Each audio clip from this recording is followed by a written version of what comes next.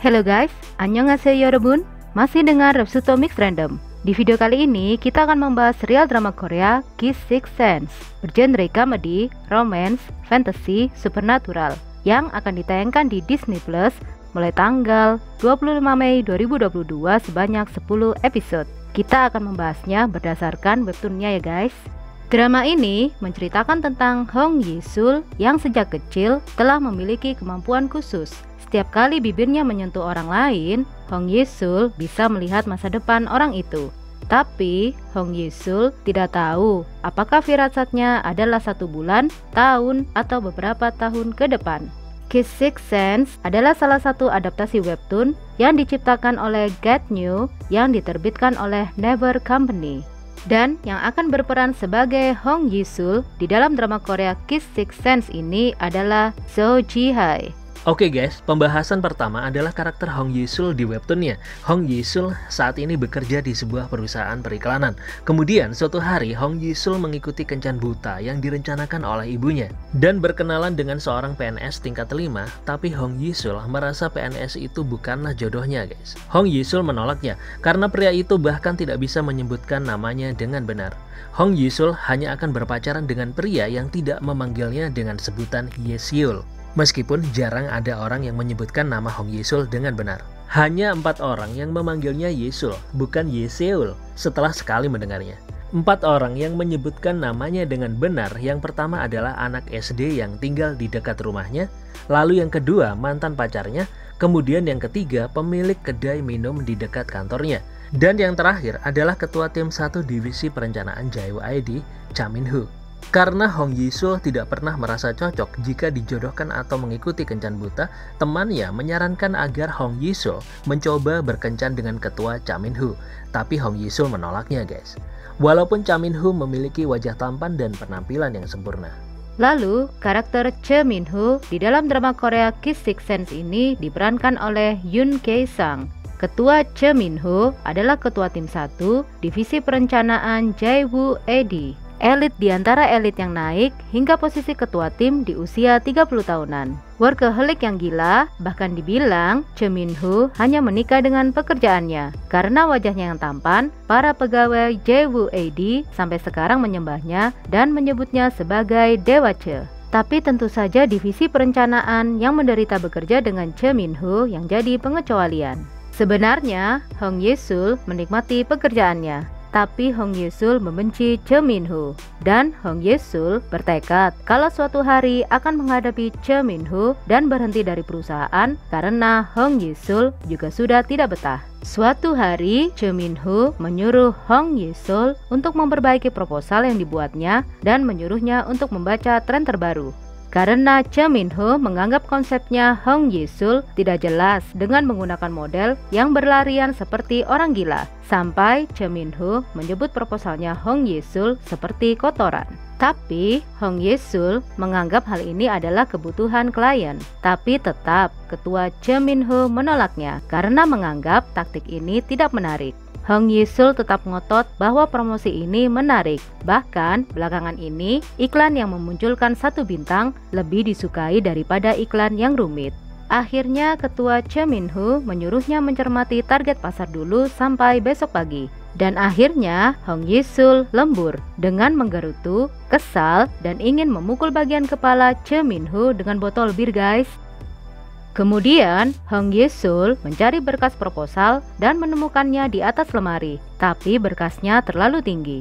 Akhirnya, Hong Yesul naik ke kursi, tapi masih tidak sampai juga guys. Tiba-tiba di belakang ada seseorang yang menyuruhnya minggir. Ternyata ketua Che Min Ho. Hong Yesul mengira ketua Che Min Ho sudah pulang. Tiba-tiba kursi goyah dan Hong Yesul terjatuh menimpa ketua Che Min Ho dan secara tidak sengaja bibir Hong Yesul membuat kontak dengan leher Che Min Ho dan Hong Yesul langsung mendapat visi di masa depan dan melihat dirinya dan ketua Cha telanjang di tempat tidur bersama.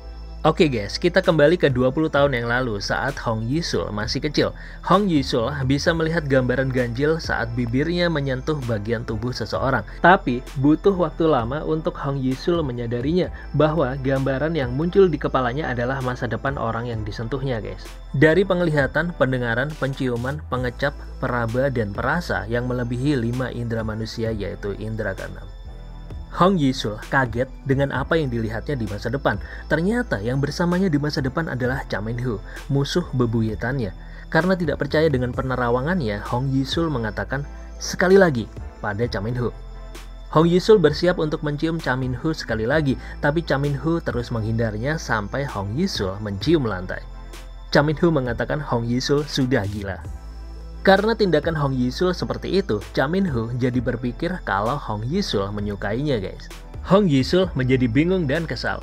Lalu, ketua Cha Min-ho menjentikan jarinya di dahi Hong Yisul dan mengusap bibir Hong Yisul yang berdarah karena mencium lantai.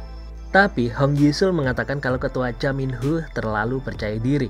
Ketua Cha Min-ho kesal dan berkata pada Hong Yisul kalau ada keluhan sampaikan dengan kata-kata, jangan memakai penyiksaan jenis baru.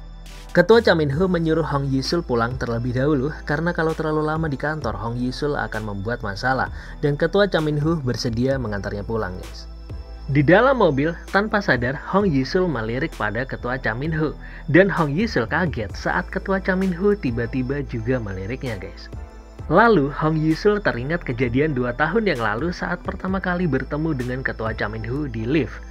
Cha Min-ho dan Hong Yisul berkenalan di lift dan Hong Yisul bahagia karena ada pegawai tampan di kantornya dan setiap hari harus bekerja bersama. Padahal saat itu Hong Yisul sudah punya pacar, tapi Hong Yisul tidak bisa menolak ketampanan Cha Min Ho guys.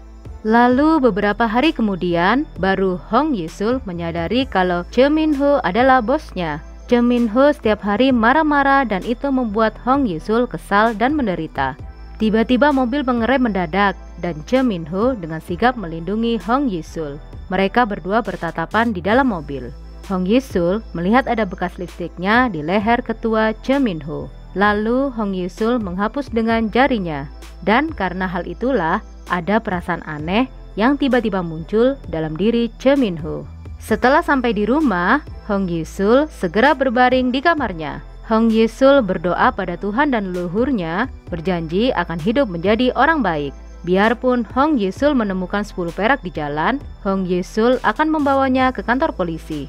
Dan Hong Yesul juga tidak akan memaksa masuk saat pintu kereta bawah tanah sudah mau tertutup. Permintaan Hong Yesul hanya satu, yaitu memohon agar Tuhan mengubah masa depannya dengan Che Min Ho melalui penglihatannya tadi.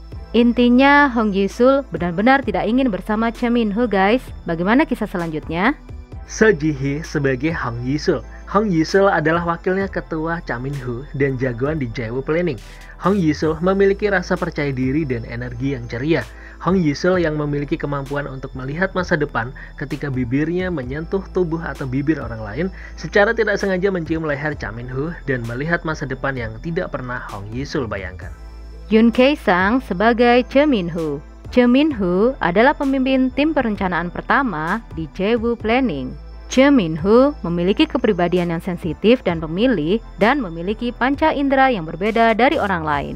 Che Min Ho dikenal sebagai dewa periklanan karena menggunakan panca inderanya yang luar biasa untuk membaca pertanda. Selain itu, Che Min Ho juga memiliki komentar yang tajam tanpa ragu-ragu demi mendorong timnya mendapatkan hasil yang berkualitas.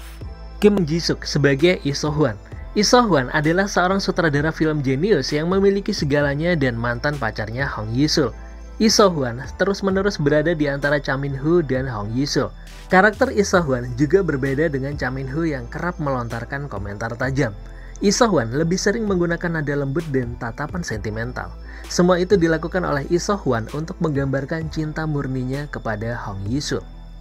Lee sebagai Oh Ji-young Oh Ji Young adalah seorang artis top yang dicintai publik dengan penampilan dan visual yang sempurna. Huang Bora sebagai Jang Eum Ji. Jang Eum Ji adalah temannya Hong Yisul dan seorang pegawai di ID. Drama ini juga dibintangi oleh Yu Jung Hoo, Kim Ga Eun, dan Tai In Hoo. Dan yang menjadi sutradara drama Korea Kiss Six Sense adalah Nam Gi Hoon yang sebelumnya pernah menjadi sutradara drama Korea tiga di antaranya adalah Oh My Baby, Leverage, dan Voice 3 City of Accomplices. Sedangkan yang menjadi penulis naskah drama Korea Kiss Six Sense adalah Jun Yuri yang sebelumnya pernah menjadi penulis naskah drama Korea Radio Romance. Oke guys, kalau kalian menyukai pembahasan drama dari Refsuto Mix Random, jangan lupa untuk subscribe karena subscribe itu gratis. Like dan dukung terus channel Refsuto Mix Random. Kita akan selalu memberikan informasi drama Asia terbaru dan mengelompokkan drama yang masih asik untuk ditonton untuk menemanimu saat ada di rumah guys. Guys, jangan ke mana-mana dulu karena di akhir video seperti biasa kita akan memberikan informasi beberapa drama Korea milik para karakter utama di dalam drama ini. Sampai jumpa di video selanjutnya ya. Bye-bye.